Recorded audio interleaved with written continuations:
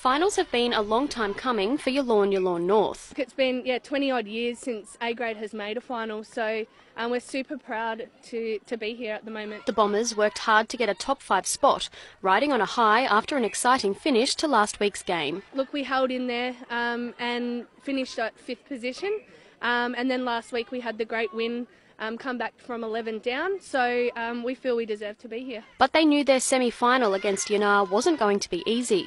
With the Magpies' defence sturdy from the get go, the side making the most of their turnovers, working hard to feed into the goal ring with accuracy from the shooters helping them get in front. Yallourn Yallourn North refused to give up, applying defensive pressure when needed, but the Magpies were too strong, the final score 52 to 33.